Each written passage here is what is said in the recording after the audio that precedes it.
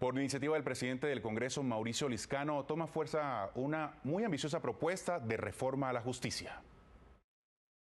Lo que se busca desde la presidencia del Congreso con la reforma a la justicia es que ésta sea incluyente, dinámica y de fácil acceso y con resultados expeditos a quien lo necesite. En este trabajo ya se identificaron siete puntos. Algunos normativos, algunos constitucionales, seguramente otros solamente administrativos, pero que esperamos sí le ayuden al colombiano de a pie pues a tener una mejor efectiva y pronta justicia. Entonces tendremos temas relacionados con la acción de tutela, con la tutela judicial efectiva, con el gobierno de la administración judicial, eh, eh, de la rama judicial en general, con eh, el presupuesto de la rama judicial, con eh, eh, el plan decenal, con el equilibrio de poderes en general.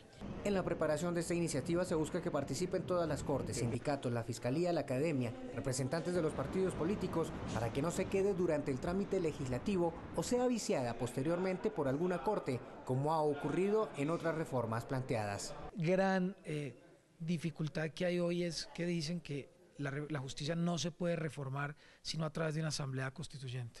Yo creo que aquí las Cortes están haciendo un gran esfuerzo, el gobierno está haciendo un gran esfuerzo y el Congreso y la Academia para demostrarle al país que las instituciones sí se pueden autorreformar, que hay voluntad política, administrativa de hacerlo. Que esto va a beneficiar no solamente a los ciudadanos, sino al país entero. Yo creo que la reforma a la justicia en este momento es una necesidad sentida por parte de todos los colombianos, sin perjuicio de lo que se esté haciendo también en el acuerdo final de La Habana. Para adelantar la reestructuración a la justicia se crearon comisiones interinstitucionales que presentarán los primeros resultados en marzo del próximo año.